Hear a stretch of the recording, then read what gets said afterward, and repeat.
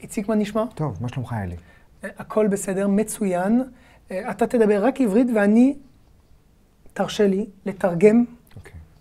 את מה שאתה אומר. Donc moi je parle quel hébreu et toi tu vas traduire כן, tout ce אל que je תדבר dis. בצרפתית. אוקיי, אני אדבר בעברית je vais traduire ce qu'il dit. אתה traduire ce qu'il מתרגם dit. אותי ב- זה בצרפתית. תמיד, תמיד, תמיד עונג להיות אוקיי. איתך גם לי. באולפן הזה. גם לי. Alors, c'est toujours un grand, grand plaisir que d'être avec Itzik, qui est notre professeur attitré à, à cours d'hébreu. La formation faux débutant qu'on a en ce moment fait un ravage, un carton. Euh, donc, euh, si vous voulez nous rejoindre, c'est avec grand plaisir. Mais pour l'heure, euh, on va parler de ton école, Itzik, parce que tu as une école dans le 9e arrondissement qui est bien connue, c'est l'école Dialang. וואלה. כי existe depuis 98, Ouais. אה, אני צריך לדבר בעברית, כן, נכון? בבקשה. ומה שמיוחד בבית הספר הזה, Qu'est-ce qui est spécial dans cette école. Donc vous enseignez la grammaire. Ok, donc il y a même un livre. Hein. Heureusement. La, chose la plus, plus importante. Ah, parler. Pourquoi vous vous, êtes, euh, vous vous concentrez sur la pratique, c'est ça? Comment on dit la pratique? Practica. או אוקיי. הרבה, הרבה דיבור. אוקיי. אנחנו מדברים, Ah, dibour, dibour, ok. יש הרבה הרבה חזרה על המילים שלומדים ועל הפעלים, Ouais. וזה בדיאלוג בין המורה לתלמיד Donc ובין beaucoup התלמידים. de vocabulaire, beaucoup de verbes euh, enseignés et euh, ça se passe euh, très très bien entre professeurs et élèves. beaucoup de répétitions, Ah, Charbet énormément de שהרבה? répétitions. יש הרבה חזרות. חזרות. כן. אוקיי. זאת אומרת, chaque chose qu'on apprend, כל דבר שאנחנו לומדים, אנחנו רואים, ממשיכים, רואים, ממשיכים. Alors ce qui est bien à Dialong, מה שממש ממש מצוין בדיאלונג, כן. זה שמרגישים בבית. ממש בבית נכון. ובישראל. כן. On se sent vraiment en Israël, hein, à כן. Dialong. C'est vrai que j'ai beaucoup d'élèves qui me disent que quand j'ouvre la porte ici, que je me sens... En Israël, c'est En un petit Israël. peu une lucarne euh, d'Israël, un petit, comment dire, une teima כן. d'Israël, un petit, une petite dégustation d'Israël à Paris, en plein מרגישים, Paris. מרגישים בבית. Nachon. Euh, Ethique, en ce moment, c'est les portes ouvertes. נכון. יש אה, ימי הרשמה. Yemé Arshama, c'est-à-dire les jours d'inscription. Voilà. C'est D'accord. pas vraiment l'inscription, parce que l'inscription, c'est à la fin du premier cours. הרשמה. כן. הרשמה זה רק בסוף השיעור האחרון- הראשון. Ouais. Ani Nirsham, c'est-à-dire je m'ins- je Je m'inscris. m'inscris. Ani Nirsham le Bet Sefer, כן. je m'inscris à l'école. כן. Ani Nirsham le, ok. כן. Mais le premier cours, c'est- il est gratuit, l'inscription, c'est à la fin du premier cours. Ouais. pendant les journées portes ouvertes, בימי ההרשמה, Ouais. אני פוגש כל תלמיד, Alors tu rencontres chaque élève. נכון. אני בוחן את הרמה, Tu contrôles, tu examines le niveau. נכון. ואני בודק עם כל תלמיד מתי הוא פנוי במהלך השבוע. Et tu euh, regardes euh, si, euh, quand, quand est-ce que l'élève est disponible Dans la et, semaine. euh, dans la semaine. והדבר הכי חשוב זה אני מסביר על השיטה המיוחדת של בית הספר. Donc le plus important, c'est que tu insistes et tu expliques ta méthode, la méthode que tu emploies à l'école, שמבוססת בעיקר על דיבור.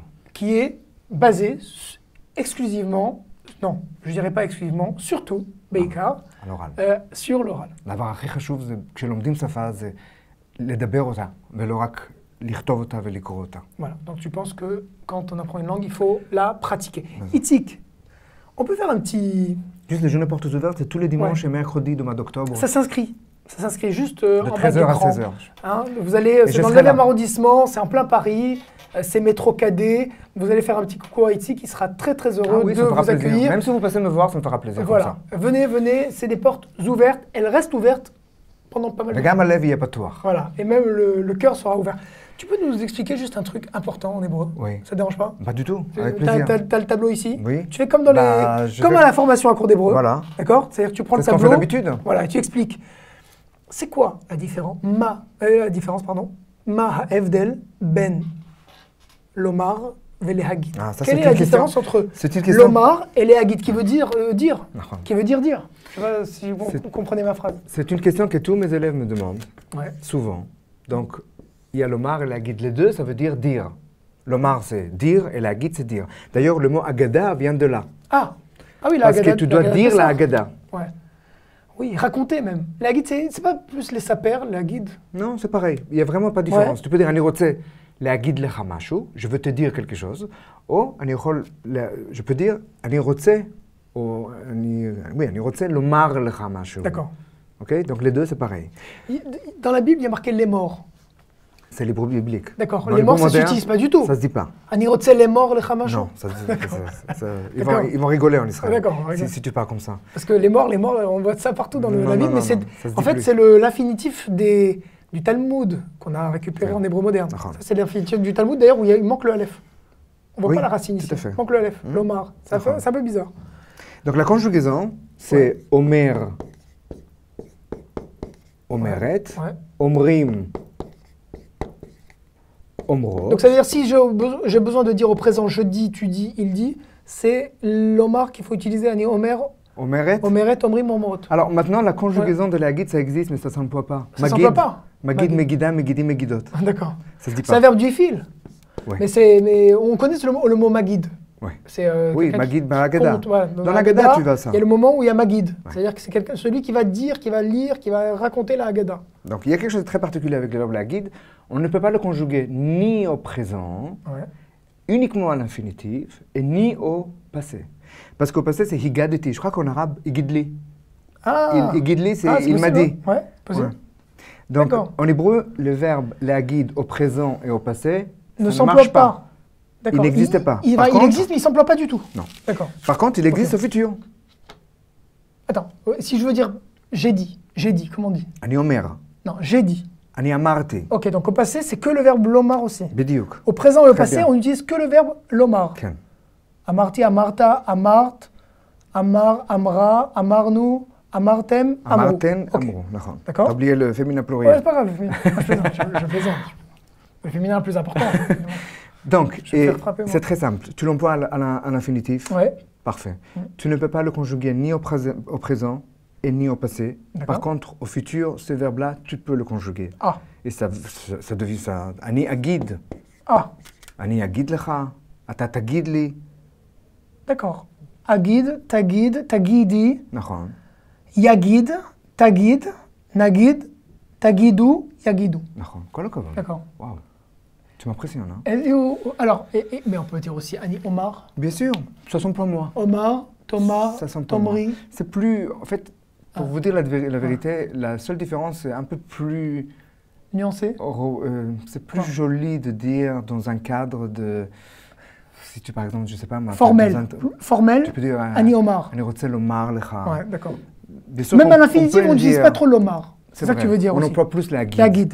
Anirotse, la guide, les hamash. C'est plus soutenu. Voilà, en français, on dit soutenu. L'omar, c'est plus soutenu que la guide. soutenu que la guide, mais ça veut dire la même chose. Vous pouvez l'employer. La guide, ça s'utilise surtout dans un, contexte, familier. C'est très familier. D'accord. Mais pas, ça ne veut pas dire qu'il faut pas Parler, je veux dire parler à l'oral, très, vous pouvez oral. Même dire, vous pouvez dire même à quelqu'un, enfin, au médecin, euh, docteur, Anirotse, la guide, le ham. Bien sûr, c'est très bien. Mm.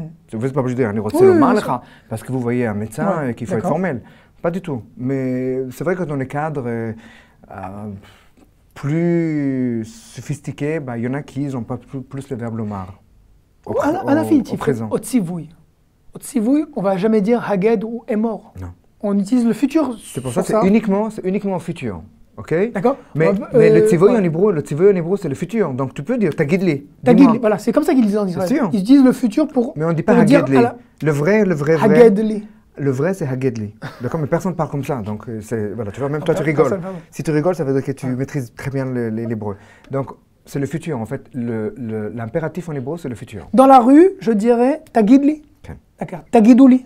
Dites-moi. Tagidili. Féminin. Tagidili. Et Adgar. hein. Dis-moi où tu habites. Em yagidouli ma shem rotzim lasot. Ils me diront. D'accord. Ok. Ok. Et l'omar ou yomarli, Ou Yomar. Oui, ou, c'est toujours. ça s'utilise à l'oral ou pas Pas Au beaucoup. futur? Ou Yagidli. On- on- Je, te- enfin, je répète encore une fois, on emploie plus le verbe la guide. Ouais. Alors d'accord. À l'oral, on l'utilisera au plutôt futur. le verbe. Mais au passé, bien sûr que c'est Amar. On- au tzivouï, on, on va jamais dire emorli. Emor, imri-li. Non. Imrou-li. C'est vraiment dans les cadres très Voilà. officiels. C'est rare que plus officiel. dans la rue on dit Tomrili bevakasha. Ouais. C'est trop soutenu. On dit Tagidili D'accord. bevakasha. D'accord. Ah, bon, écoutez, moi, je sais pas si vous avez tout compris. Moi, j'ai. Enfin, c'est extrêmement. C'est barour. Ah, bah, je suis content. Ah, c'est limpide, là. C'est C'est le but. hyper clair. C'est le but. Itzik, Toda toda rabba. rabba. Merci beaucoup. Toda rabba. Et on te retrouve donc en chair et en os, Bassar Vadam, Oui. comme ça qu'on dit en hébreu, à l'école Dialang, Ouais. Je serais Paris, content de vous voir. à Paris, dans le 9e arrondissement. Euh, donc, euh, bah, foncez aux portes ouvertes, c'est en ce moment.